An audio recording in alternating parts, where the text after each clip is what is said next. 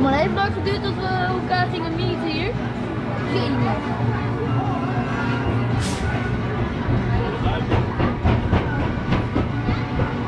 Maar zit, eh,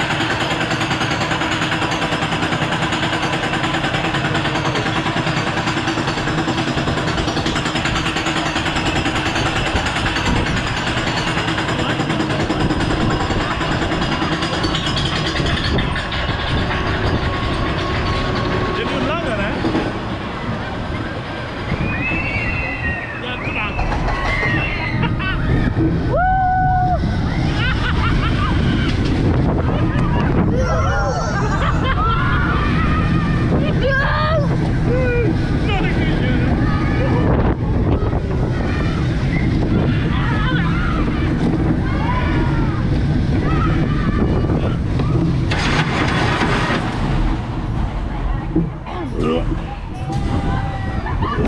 you.